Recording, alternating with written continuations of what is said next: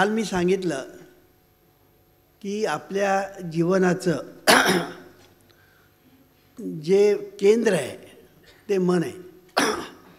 आणि हे जे मन आहे हे दोन प्रकारे नांदतं. कॉन्शियस माइंड आणि सबकॉन्शियस माइंड म्हणजे बहिर्मन आणि अंतर्मन. या दोन प्रकाराने आपल्याकडे ते नांदतं. आणि बाकीचे तीन प्रकार जे आहेत ते सध्या आपण पाहत नाही. फक्त हे दोनच प्रकार पाहणार आहोत. कारण आपला ह्याचा डायरेक्टली जीवनाशी संबंध आहे संसाराशी संबंध आहे प्रपंचाशी संबंध आहे व्यवहाराशी संबंध आहे. म्हणून हे जे आपल्या ठिकाणी असणारं जे मन या मनाचं महत्त्व आपल्याला समजत नाही इतकंच नव्हे तर मन नावाचं तत्त्व आपल्या ठिकाणी नांदतं याची जाणीवच लोकांना नाही. आणि ह्याचा परिणाम असा झालेला आहे की मनाबद्दलची जाणीव नाही मनाबद्दलचा विचार नाही मनाबद्दलचा अभ्यास नाही आणि त्याचे परिणाम असे होतात की जीवन जगत असताना आपण जीवन जसं जगलं पाहिजे तसं जगत नाही. आणि त्याचे दुष्परिणाम सर्वांनाच भोगावे लागतात. कारण शेवटी man is a social animal आणि त्याचा परिणाम असा होतो की कुठेतरी खट झालं की त्याचे परिणाम दुसरीकडे होतात. म्हणून मी नेहमी सांगत असतो की इतरांच्या सुखात आपलं सुख लपलेलं आहे. तर इतरांच्या दुःखात आपलं दुःख दडलेलं आहे. या सत्याची जाणीव झाल्याशिवाय मानवजातीच्या जीवनात खरी क्रांती होणार नाही असं मी म्हटलेलं आहे. की आपण एकटे नाहीतच आहोत. आपण सर्व मिळून एक आहोत. ही गोष्ट आपल्या ध्यानात येत नाही. मी एक साधी गोष्ट सांगतो. म्हणजे आपण सगळे खरोखरच एक कसे आहोत? कारण मी कुठलाही जेव्हा सिद्धांत मांडतो ना तेव्हा लगेच मी ते सिद्ध करून दाखवतो. कुठलाही सिद्धांत मी जेव्हा मांडतो तेव्हा तो सिद्धच करून दाखवतो. आता इथे आपण खरोखरच एक आहोत पण आपण स सर्व वेगळे समजतो ही दुर्दैवाची गोष्ट आहे. आता एक कसं आहे ते मी तुम्हाला सांगतो. मी इथे प्रवचन करतो. मी इथे प्रवचन करतो आहे करीत आहे. आणि तुम्ही सर्व माझं प्रवचन ऐकत आहात. आता मी तुमच्यापैकी प्रत्येकाला मग ते स्त्री असो किंवा पुरुष असो जर मी तुम्हाला असा प्रश्न विचारला की मी प्रवचन करतो ते ऐकतो कोण? असं जर मी तुम्हाला प्रश्न विचारला तर तुम्ही मला काय उत्तर द्याल? प्रत्येक माणूस उत्तर काय द्याल? मी द्याल. बघा तुम्ही. मी आता तुम्हाला प्रश्न विचारलेला आहे की माझं प्रवचन कोण ऐकतं? तुम्ही सांगाल मी. मग पुढे ऐकते किंवा ऐकतो हे नंतरचं. पण पहिलं मी. तुम्ही कधी घरी गेलात रात्रीच्या वेळेला? आणि आतून बेल मारली आतून विचारलं कोण? मी असं म्हणता तुम्ही. मग तो कोणी असू दे. आता इंग्लिशमध्ये तो आय म्हणेल वगैरे वगैरे तो भाष वेगळा. पण शेवटी जो ध्वनी आहे तो एकच आहे. तो म्हणजे मी. याचा अर्थच असा की हा जो मी आहे हा मी तुमच्यामधून सुद्धा गेलेलो आहे ज्याला भगवद्गीतेमध्ये सूत्रे मणिगणा इव असं म्हटलेलं आहे. आत्ता माझ्या इथे जो हार आहे तो हार जर तुम्ही पाहिला तर त्या हाराला फुलं लटकलेली आहेत. आणि त्या फुलामधून एक दोरी गेलेली आहे. त्या फुलामधून एक दोरी गेलेली आहे. दोरी दिसत नाही फुलं दिसतात. दोरी दिसत नाही फुलं दिसतात. आता गंमत बघा फुलांना जर धक्का लागला तर तो दोरीला लागणार. आणि दोरीला जर धक्का दिला तर तो फुलांना लागणार. तसं आपलं जीवन आहे. की तुम्ही सगळी मंडळी जी आहात ती एक प्रकारची फुलं आहेत. आणि त्या सर्वामधून एक दोरी गेलेली आहे त्याला आपण इंग्लिशमध्ये कॉस्मिक माइंड असं आपण म्हणतो. आणि हे जे मन जे गेलेलं आहे सर्वांच्या मधून ते मनच मी मी असं म्हणत असतं. ही गोष्ट जर आपल्या ध्यानात आली तर आपण जेव्हा एखादी गोष्ट वाईट करतो तेव्हा त्याचे परिणाम आपल्यावर होतात आणि इतरावर होतात. आणि एखादी गोष्ट आपण चांगली करतो तेव्हा त्याचे परिणाम आपल्यावर होतात आणि इतरावर होतात. म्हणून कधीही जेव्हा आपण जीवन जगत असताना प्रत्येकाने हा जर विचार धरला तर या जीवनामध्ये मानवी जीवनामध्ये क्रांती व्हायला वेळ लागणार नाही. हे लोकांना कळतच नाही. लोकांना असं वाटतं की मी सुखी झालो म्हणजे सर्व काही झालं इतरांच्याबद्दल विचार करण्याचं मला काही कारण नाही. ही जी कॉन्सेप्ट आहे हीच मुळात चुकीची आहे. अमेरिकेमध्ये मी गेलो होतो प्रवचनासाठी. त्यावेळेलासुद्धा अनेक ठिकाणी मला एक वाक्य ऐकू आलं. ते म्हणजे इट इज माय लाईफ प्रत्येक ठिकाणी मला हे वाक्य ऐकू आलं. मुलंसुद्धा इट इज माय लाईफ म्हणतात.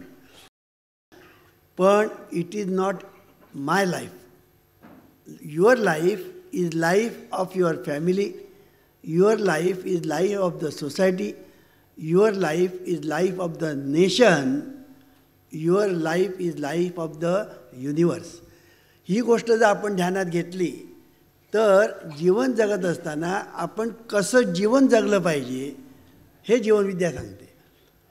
आपण जन्माला का आलो ह्याचा विचार कोणी कधी करतच नाही. आपण जन्माला का आलो ह्याचा विचार आपण कधी करतच नाही. ह्याचं कारण का? तसं कोणी आपल्याला शिकवतच नाही. आपल्याला कोणी शिकवतच नाही. ना आपले आईवडिलांनी शिकवलं ना आजोबांनी शिकवलं ना शिक्षकांनी शिकवलं ना धर्ममार्तंडाने शिकवलं. जे शिकवलं ते वेगळंच शिकवलं. जे शिकवलं ते वेगळं शिकविलं त्याच्यामुळे जे चांगलं होण्याच्या ऐवजी वाईटच होत गेलं. आनंद वाटता वाटता आनंद लुटण्यासाठीच आनंद वाटता वाटता आनंद लुटण्यासाठीच आपला जन्म आहे. ही गोष्ट जर आपण नीट लक्षात ठेवली तर आज आपण काय करतो आणि आपण काय करायला पाहिजे ह्यातला डिफरन्स जो आहे तो तुमच्या ध्यानात येईल. हा जो डिफरन्स आहे ना तीच एक मोठी दरी आहे. तीच एक मोठी दरी आहे. आणि या दरीमध्ये सगळी मंडळी कोसळून पडत आहेत कोसळतात आहे आणि दुःखी होत आहेत. आणि म्हणून जीवनविद्येने जो सिद्धांत मांडला आनंद वाटता वाटता आनंद लुटण्यासाठीच माणसाचा जन्म आहे. ही गोष्ट एकदा तुमच्या ध्यानात आली. आणि आपण मी मी म्हणणारा जो आहे हा मी सर्वामधून जाग जाणार आहे. आणि म्हणून सर्व जी आहे ती फुलं आहेत आणि त्याच्यातून मी म्हणजे माइंड मन गेलेलं आहे. ही गोष्ट आपल्या एकदा ध्यानात आली की मग आपण जीवन कसं जगलं पाहिजे ते ध्यानात येईल. सुख द्या सुख घ्या निसर्गाचा नियम हा. हा निसर्गाचा नियम आहे की तुम्ही प्रथम द्या मग घ्या. हा निसर्गाचा नियम आहे. हे जर तुम्ही जर सिद्ध करून दाखवायचं असेल तर तुम्ही निसर्गाकडे बघा. आणि निसर्गाकडे तुम्ही जेव्हा पाहाल तेव्हा तुम्हाला असं दिसून येईल की खरोखरच निसर्गाकडून हेच चाललेलं आहे. ते सतत आपल्याला सुख देत आहेत आनंद देत आहेत निरनिळ्या रूपाने. सूर्य आपल्याला प्रकाशाच्या रूपाने सतत आनंद देत आहे. सतत. समुद्र समुद्र हा वास्तविक समुद्राचं पाणी खारट आहे. पण ते पाणी ज्यावेळेला सूर्याच्या सामर्थ्याने वर जातं ढगांमध्ये त्याचं रूपांतर होतं आणि पुन्हा पाणी जेव्हा खाली येतं तेव्हा ते गोड असतं. म्हणजे समुद्र आपल्याला गोड पाणी देतो. नद्या आपल्याला सतत वाहत असतात आणि आपल्याला पाण्याचा सतत आपल्याला आणि पुरवठा करीत असतात. डोंगर डोंगराबद्दल तर काही बोलायलाच नको. डोंगरामध्ये इतकं काही वास्तव्य झालेलं आहे. आपल्या फुल पक्ष्यांचं प्राण्यांचं माणसांचं आणि हे डोंगर जे आहेत ते आपल्याला विविध प्रकाराने उपयुक्त ठरत असतात. वृक्ष आपल्याला सतत फळं देत असतात. फळं देण्याच्या रूपाने ते आपल्याला आनंद देत असतात छाया देत असतात. म्हणून मी नेहमी सांगत असतो की हे जे वृक्ष जे आहेत हे वृक्ष म्हणजे शंकराचे अवतार आहेत असं मी म्हणतो. कारण का? तर शंकराने विष घेतलं आणि जगाला अमृत दिलं. पण त्याने ते एकदाच केलं. पण हे जे वृक्ष जे आहेत हे सतत तुम्हाला अमृत देतात आणि स्वतः विष घेतात. अमृत देतात म्हणजे प्राणवायू देतात ऑक्सिजन देतात आणि स्वतःकडे विष ठेवतात म्हणजे कार्बन डायऑक्साईड ही जर गोष्ट आपण लक्षात ठेवली तर अशा तऱ्हेने ही पृथ्वी पृथ्वी स्वतःभोवती फिरत फिरत सूर्याभोवती फिरते आणि अशा तऱ्हेने ती आपल्याला अनेक गोष्टी देते. रात्र उजे रातराणी उजेड नंतर आपल्याला निन्या तऱ्हेचे जे ऋतू आहेत ते सगळे ऋतू हे सगळे आपल्याला जे प्राप्त होतात ह्याचं कारण सूर्य सूर्याभोवती पृथ्वी फिरते आणि तीच पृथ्वी स्वतःभोवती फिरते. आणि अशा तऱ्हेने सगळा निसर्ग जो आहे सगळा निसर्ग त्याला पर्यावरण आपण म्हणतो. पर्यावरण आणि निसर्ग याच्यात फरक आहे. तो बऱ्याच लोकांना माहिती नाही आहे निसर्ग आणि पर्यावरण याच्यातला जो फरक आहे तो फरक म्हणजे असा की नैसर्गिक पद्धतीने जे निर्माण झालं तो निसर्ग. आणि त्या निसर्गाच्या अंतर्यामी जी एक अद्भुत अशी दिव्य व्यवस्था आहे ती दिव्य व्यवस्था म्हणजे पर्यावरण. आता ह्याच्यावरच मला प्रवचन मला करायचं नाही पण मला एवढंच सांगायचं आहे की अशा तऱ्हेची जी व्यवस्था आहे ही निसर्गाने निसर्गामधून आपल्याला मिळालेली आहे. आणि माणूस हा निसर्गाचा एक अविभाज्य भाग आहे. आणि म्हणून माणसाने सुद्धा आपण निसर्गाचे अविभाज्य भाग आहोत हे स्मरणात ठेवून लक्षात ठेवून ध्यानात ठेवून माणसाने सुद्धा सतत इतरांना आनंद देत राहणं हा माणसाचा कर्तव्य धर्म आहे हे आपण विसरता कामा नये. पण आपण हे करतच नाही. आपण इतरांना आनंद देत राहिलं पाहिजे हे आपण विसरतो. तुम्ही म्हणाल का हो? इतरांना आनंद का द्यायचा? कारण तो आनंद तुमच्याकडे बुमरँग होऊन सहस्रपटीने परत येणार आहे हे लक्षात ठेवा. तुम्ही एखादी गोष्ट जेव्हा देता तेव्हा ती बुमरँग होऊन तुमच्याकडे परत येते. आता ह्याच्यामध्ये भाग आहे. Universal law of action and reaction हा जो एक सिद्धांत आहे त्या सिद्धांतामध्ये जो सिद्धांत आहे इक्वल अँड ऑपोजिट हा जो सिद्धांत आहे हा आमच्या दृष्टीने अर्धसत्य आहे. आमच्या दृष्टीने तो अर्धसत्य आहे. Action and reaction are equal and opposite हे अर्धसत्य आहे. मग दुसरी त्याची बाजू काय आहे? त्या नियमाची दुसरी बाजू अशी आहे की action and reaction multiplied and magnified action and reaction are multiplied and magnified म्हणजे काय? म्हणजे याचा अर्थ असा की आपण जमिनीमध्ये आंब्याची कोय पेरली आता लवकरच आंब्याचे दिवस येणार आहेत. आंब्याची कोय आपण जमिनीमध्ये पेरली मग त्याला अंकुर येणार बुंदा येणार फांद्या येणार पाने येणार मोहर येणार. आणि दोन तीन हजार आंबे त्याच्यावर येणार. आता एक आंब्याची कोय आपण जमिनीमध्ये पेरली आणि दोन तीन हजार आंबे आले आणि त्या प्रत्येक आंब्यामध्ये पुन्हा कोय आहे? त्या प्रत्येक आंब्यामध्ये कोयच आहे. तशी मी मी म्हणणारी कोयच आहे. आणि या ठिकाणी सुद्धा मी मी म्हणणारी कोयच आहे. म्हणजे बीजम माम सर्वभूतानाम विद्धी पार्थ सनातनम असं भगवद्गीतेमध्ये म्हटलेलं आहे. बीज म्हटलेलं आहे. तर सांगायचा मुद्दा असा की बीजापोटी तरुवर कोटी असं म्हटलेलं आहे.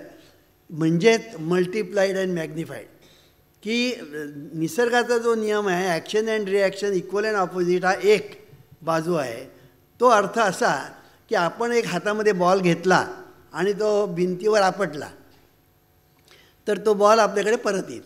तो बॉल आपल्याकडे परत येईल एकच परत येईल अनेक येणार नाही. एक बॉल आपण हातात घेतला आणि भिंतीवर आपटला तो परत आपल्याकडे येईल तो येईल तो एकच येईल इक्वल अँड ऑपोजिट पण जर तुम्ही एखाद्याला सुख दिलं तर ते सुख तुमच्याकडे बुमऱ्यांग होऊन सहस्रपटीने परत येईल. कारण ते सूक्ष्म आहे. कारण ते सूक्ष्म आहे. जे सूक्ष्म असतं ते मल्टिप्लाईड अँड मॅग्निफाईड होतं. तुम्ही जर दुसऱ्यांना दुःख दिलं तर ते दुःख तुमच्याकडे बुमऱ्यांग होऊन सहस्रपटीने परत येतं. हे आपण लक्षात ठेवलं पाहिजे. म्हणून इतरांना सुख का द्यायचं? इतरांना आनंद का द्यायचा? ह्या प्रश्नाचं उत्तर हे आहे. नाही तर पुष्कळ लोक असं विचारतं आम्हाला की आम्ही जेव्हा म्हणतो हे ईश्वरा सर्वांना सुखात आनंदात ठेव ऐश्वर्यात ठेव. ते ग्रस्त आम्हाला भेटले ते म्हणाले वामनराव आम्ही अशी प्रार्थना म्हणायला लागली की आमचा शत्रू डोळ्यासमोर येतो. आणि मग ह्या हरामखोरासाठी मी असं कसं म्हणायचं की सर्वांना म्हणजे ह्यालाही या हरामखोरालाही सुखात ठेव. हे आम्हाला बाळ आम्हाला जमत नाही हो. मी त्याला सांगितलं अरे सर्वांना म्हणजे त्याच्यात तो पण आला तू पण आला सगळे आले. मग तो जर सुखी झाला तर तुझ्या बाबाचं काय झालं? तर होऊ दे ना त्याला सुखी. तर सांगायचा मुद्दा असा की आपल्याकडे जी एक मनोवृत्ती जी आहे ती मनोवृत्तीच अशी आहे थोडीशी विकृत मनोवृत्ती जी आहे. आणि ही विकृत मनोवृत्ती हा तुमचा दोष आहे. असा तो दोष नाही आहे कारण का? तसं शिकवलंच गेलं नाही आतापर्यंत. आतापर्यंत हा सिद्धांत कोणी मांडला? आनंद वाटा वाटा आनंद लुटण्यासाठी माणसाचा जन्म आहे. हा सिद्धांतच कोणी मांडला नाही आतापर्यंत. ते आपल्याकडे बुमऱ्यांग होऊन सहस्रपटीने परत येतं. कोणी सांगितलेलंच नाही आपल्या आतापर्यंत. ह्याचा परिणाम असा झालेला आहे की आपण जीवन जगत असताना जसं जगलं पाहिजे तसं जगत नाही. आणि जसं जगायला नको तसं जगत असतो. आणि त्याचेच दुष्परिणाम फक्त आपल्याला भोगावे लागतात असं नव्हे सर्वांनाच भोगावे लागतात. म्हणून जगामध्ये जगी सर्व सुखी असा कोण आहे विचारे मना तुझी शोधून पाय असं म्हणण्याची वेळ आली. नको नको संसार जीवावरी भार असा आणि म्हणण्याची वेळ आपल्या आली. संसाराच्या तापे तापलो मी देवा करिता या सेवा कुटुंबाची असं म्हणण्याची वेळ आली. वास्तविक संसार किती सुंदर आहे मी नेहमी सांगत असतो संसार या शब्दामध्ये सार आहे. संसार या शब्दामध्ये सार आहे. की संसारामध्ये जो आनंद आहे तो आपल्याला लुटता येत नाही. ह्याचं कारण का? आनंद वाटता वाटता आनंद लुटण्यासाठी आपला जन्म आहे हे आपण विसरतो म्हणून. आणि म्हणून आपल्या बायको आहे मुलं आहे नातवंड आहे सून आहे जावई आहे हे ऐश्वर आहे. हे खरं तर ऐश्वर आहे. ते एखादा स्वामी बघा. त्याला बायको नाही मुलं नाही नातवंड नाही जावई नाही सून नाही. हे काय जीवन झालं? हे जीवन म्हणजे भकास. हे भकास जीवन झालं. कळलं की नाही? सांगायचा मुद्दा असा पण कुठलाही स्वामी तसं सांगणार नाही. हे लक्षात ठेवा की मी भकास जीवन जगतो आहे हे कुठलाही स्वामी सांगणार नाही. पण एका स्वामीने मला सांगितलं. ती गोष्ट मी तुम्हाला सांगतो खरं म्हणजे वेळ जातो पण काय करणार? मी दादरला राहत होतो. आणि दादरला आमचा चौथ्या मजल्यावर मी राहत होतो. आणि आमचा रस्ता अगदी रोड टच म्हणतात तसं. त्याच्या घरावरून आमचे सगळी फार लोक जायचे आमच्या घरावरून. त्याच्यामध्ये पुन्हा व्ही आय पी पण जायचे. व्ही आय पी म्हणजे हे मिनिस्टर मिनिस्टरनं आमच्या घरावरून जायचे. आणि दुसरे व्ही आय पी म्हणजे वर जाणारे. तेही आमच्या घरावरून जायचे. तर आमच्या गॅलरीमध्ये उभं राहिलं ना की विश्वाचं दर्शन. असा मी एकदा गॅलरीमध्ये उ उभा असताना मला अनेक वेळा एक संन्यासी जाताना दिसला. एक संन्यासी चांगला तरुण होता हो पंचवीस सव्वीस वर्षाचा तरुण किंवा फार तर सत्तावीस अठ्ठावीस असेल तरुण गोरापान ते हरेराम हरे कृष्णवाले आहेत ना तसा गोरापान. आणि तरुण म्हण आता तो आमच्या घरावरून तो नेहमी जायचा यायचा. मी बघायचो त्याला.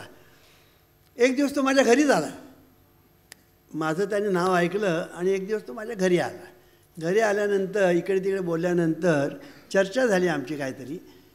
आणि त्याने आपल्या मनातलं गुपित सांगितलं. म्हणाले वामनराव मी संन्यास घेतला खरा पण मला तो काही पेलवत नाही म्हणाले. कळलं की नाही? मी म्हटलं काय झालं? तर त्याने सांगितलं जे काय सांगायचं तुम्हाला कळलंच. तर मी म्हटलं असं कर तुला हे पेलवत नाही ना मग मी तुला सांगतो ते कर. तू करशील का? तो म्हणाला तुम्ही सांगा तर खरं. तर मी त्यांना असं सांगितलं तू असं कर तू एक दिवस सर्वांना पार्टी दे. तुझे जे नातेवाईक तुझे जे कोण जवळचे आहेत त्या सर्वांना एक हॉल घे याच्यासारखा. सर्वांना तिकडे बोलव आणि जाहीर कर. आजपासून मी संन्यास सोडला. किती सोपं आहे. तो म्हणा असं मी कसं कमी करणार? म्हणजे माझी अब्रू जाईल म्हणाले. मी आता संन्यास घेऊन तर बसलो. आता परत मागे गेलो तर सगळे माझी चितू करणार. मला सांगायचा मुद्दा काय?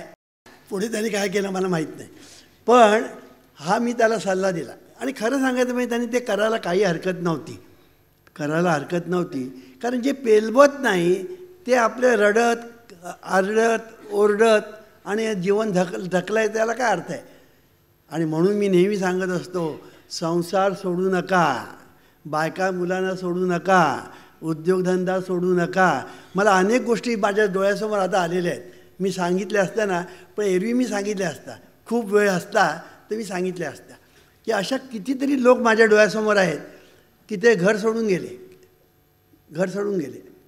ह्या सगळ्या लोकांना पश्चात्ताप होतो. हे परमार्थाच्या नावाखाली. हे सगळं परमार्थाच्या नावाखाली ही मंडळी बायका मुलांना सोडतात घरदार सोडतात नोकरीधंदा सोडतात आणि कुठेतरी जंगलात जातात किंवा संन्यास बिन्यास साधू होतात. जीवन विद्यालय मान्य नाही. जीवन विद्यालय मान्य नाही. मला सांगायचा मुद्दा एवढाच की आपल्याला बायको मुलं नातवंड पतवंड हे सगळं असतं हे ऐश्वर आहे. आणि ह्या ऐश्वर्यामध्ये जो आनंद आहे तो आनंद दुसरा कशातच नाही. पण तो भोगता आला पाहिजे. हा आनंद तुम्ही कधी भोगू शकाल?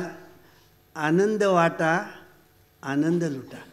यासाठी आहे तुझा जन्म. ही गोष्ट आपण स्मरणात ठेवून जर आपण कुटुंबामध्ये राहिलो ना तर आनंदी आनंद आहे. आनंदी आनंद आहे. पण असं होत नाही. दहा माणसं घरामध्ये आहे. मी नेहमी सांगतो दहा माणसं घरामध्ये आहे.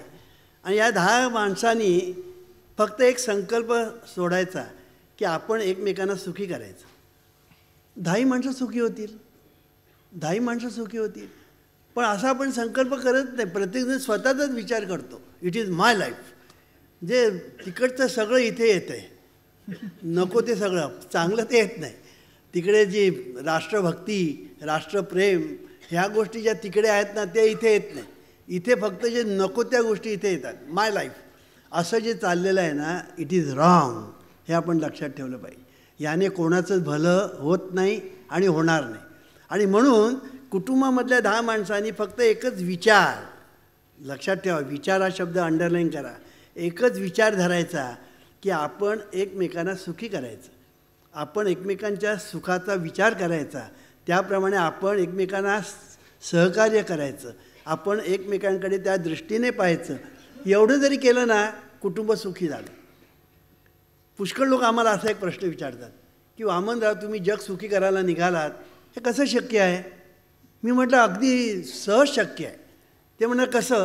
तर मी त्यांना असं सांगितलं की जगातल्या प्रत्येक माणसाला सुख हवं असतं. जगातल्या प्रत्येक असा जगामध्ये एक माणूस नाही की त्याला सुख नको. जगातल्या प्रत्येक माणसाला सुख पाहिजे असतं. आणि सुखी होण्याचा त्याला मार्ग मात्र माहीत नसतो. ही खरी अडचण आहे. खरी अडचण जी आहे ती जगातल्या प्रत्येक माणसाला सुख हवं असतं पण सुखी होण्याचा मार्ग माहीत नसतो. आणि त्याचा परिणाम असा होतो की तो स्वतःही दुःखी आणि इतरांना दुःखी करू टाकतो. आम्ही असं सांगतो की तुम्हाला जर सुखी व्हायचं असेल ना तर आपल्या जवळचे जे लोक आहेत ना त्यांना सुखी करण्याचा प्रयत्न करा. संपलं. आपलं कुटुंब सुखी झालं असं प्रत्येकाने जर आपलं कुटुंब सुखी केलं तर जग सुखी नाही का झालं? सापडत तुम्ही. अहो एक गाव आहे. त्या गावामध्ये प्रत्येकाने जर आपलं घर स्वच्छ ठेवलं तर सगळं गाव स्वच्छ झाला. का कोणीतरी एकाने उठायचं आणि सगळ्यांची घरं आणि सगळ्यांचे ओटे साफ करत बसायचं झाडू घेऊन ह्याला काय अर्थ नाही. तो एक एकदा करील दोनदा करील तीनदा करील. मला एक गोष्ट आठवली म्हणून सांगतो. जवळजवळ चाळीस वर्षापूर्वी माझं प्रवचन रुया कॉलेजमध्ये होतं. त्या ठिकाणी त्या प्रवचनाला एक बाई आली होती. त्या प्रवचनामध्ये मी एक सिद्धांत सांगितला तो हा आम्ही आता सांगितलेला. ती बाई दुसऱ्या दिवशी माझ्या घरी आली. आणि ती मला सांगत होती की तुम्ही जे सांगता ना ते हंड्रेड पर्सेंट बरोबर आहे. मी म्हटलं काय झालं? तर तिने जी गोष्ट सांगितली ती तुम्हाला सांगतो. तिने सांगितलं की आम्ही एका विशिष्ट परंपरेतले होते ते. मला आता नक्की आठवत नाही. तर त्यातल्या ती मंडळी होती. तर ते त्यांचे जे प्रमुख होते ते त्यांना सांगायचे आपल्या अनुयायांना की तुम्ही लोकांची सेवा करा. कळलं की नाही? लोकांची सेवा करा. मग सेवा करा म्हणजे काय करा? तर ह्या लोकांना कुठेतरी पाठवलं. कुठे ज्या वडारणी वाई असतात वडारणी तिथे. आणि काम काय? त्यांच्या डोक्यातले उभा काढायचे.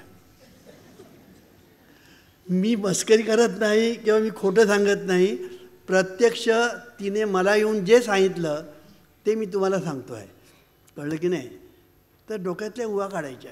तर आम्ही म्हणाले तीन चार दिवस गेलो आणि त्यांच्या डोक्यातल्या उवा काढल्या. कारण सेवा करायची ना. सेवा करण्यासाठी आम्ही बाहेर पडलो पुढे काय झालं? त्यानं दुसरीकडे कुठेतरी जावं लागलं. त्यांना दुसरीकडे जावं लागलं. जवळजवळ पाच सहा दिवस ते दुसरीकडे गेले आणि मग पुन्हा तिकडे आले. त्या वडाळणी बाईने त्यांना दम द्यायला सुरुवात केली. तुम्ही चार पाच दिवस गेला होतात कुठे? आमच्या डोक्यात ते ओवा कोण काढणार? काय बघा. म्हणजे तुम्ही जर हातात झाडू घेऊन जर रस्ते साफ करायला लागलात ना तर लोक तुमची वाट पाहतील. तू आता चार दिवस कुठे गेला होतास? म्हणून. तर हे जीवनविद्येला मान्य नाही. जीवनविद्या सांगते तुमचं घर जे आहे ना ते तुमचं घर स्वच्छ ठेवा. म्हणजे संबंध प्र गावातली सगळी घरं स्वच्छ झाली. प्रत्येकाने आपापलं घरं स्वच्छ करायचं. जसं प्रत्येक कुटुंब जर सुखी झालं तर समाज सुखी झाला. समाज सुखी झाला की राष्ट्र सुखी झालं. राष्ट्र सुखी झालं की विश्व सुखी झालं. इट इज सो सिंपल पण हे सिंपल आहे ना तेच आम्हाला आता अडचणीचं झालेलं आहे. कारण का? हे कोणीच सांगत नाही. तुम्हाला काय सांगतील?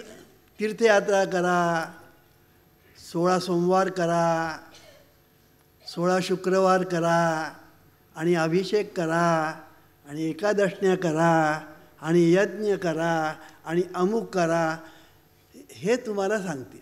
कळलं की नाही? ह्याने तुमच्या जीवनातले कुठलेही प्रश्न सुटणार नाहीत हे तुम्ही लिहून घ्या. तुम्ही म्हणा आमच्या कदाचित सुटला तर तो तो बोला फुलाला एक घाट.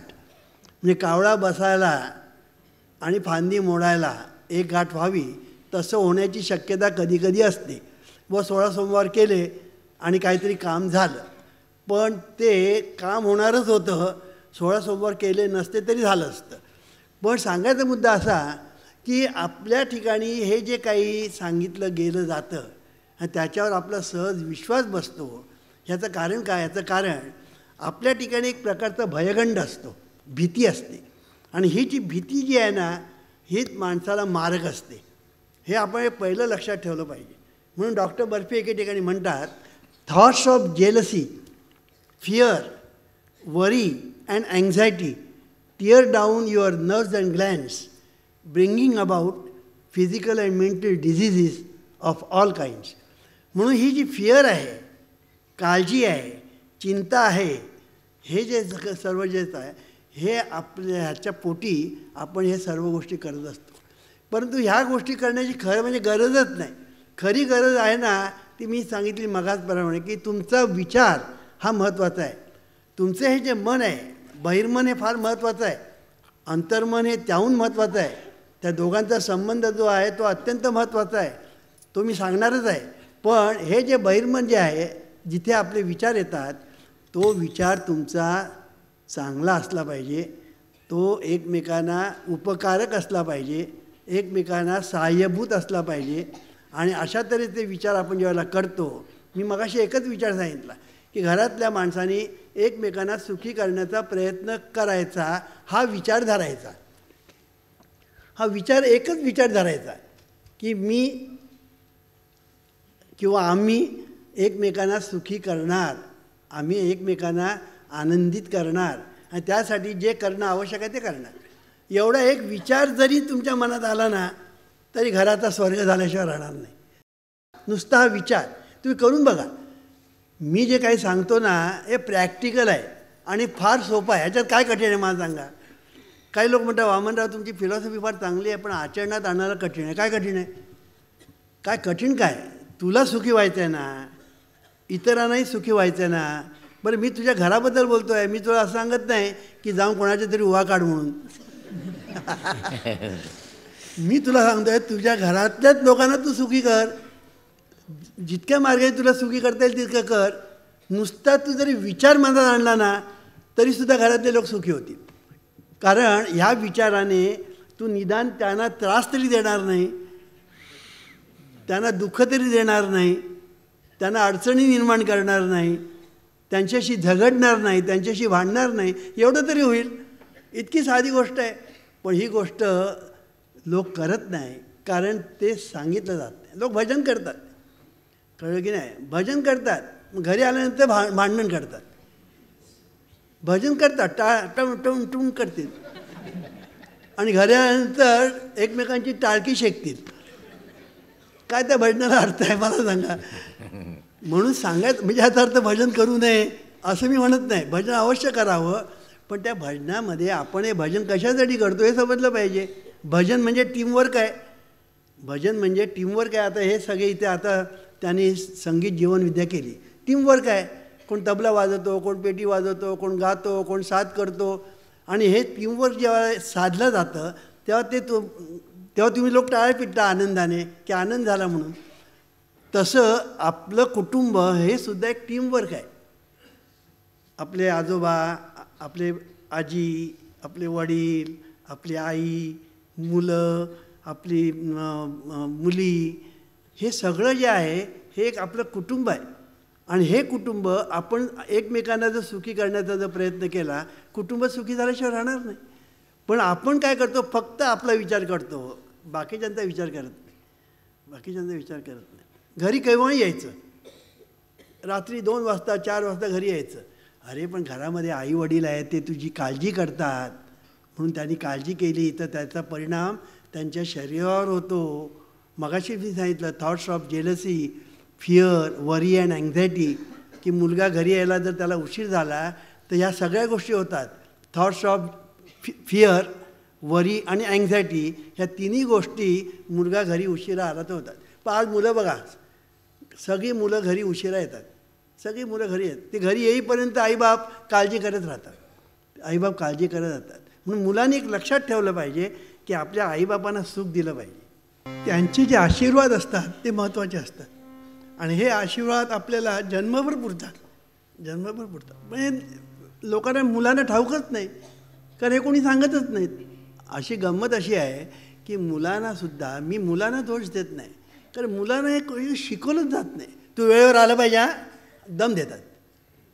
हा दम देणं हा जो प्रकार आहे ना मुलं आणखीन भितरतात मुलं आणि भितरतात पण त्यांना जर नीट समजावून सांगितलं की बुवा तू का उशिरा येऊ नकोस?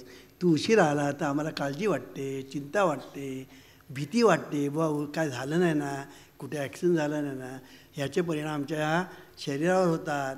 शरीरावर परिणाम झाला की मग डॉक्टरकडे जाण्याची वेळ येते. कुठे हार्ट हार्टला परिणाम होतो.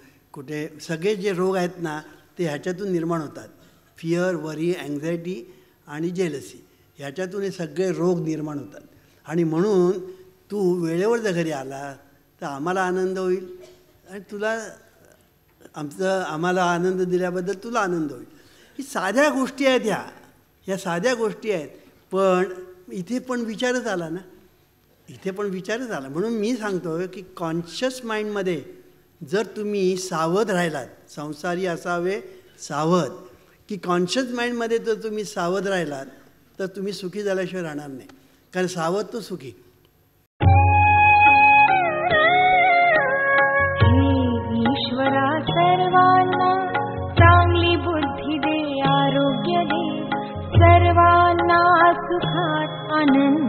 ऐश्वर्यात ठेव सर्वांचं भलं कर कल्याण कर रक्षण कर.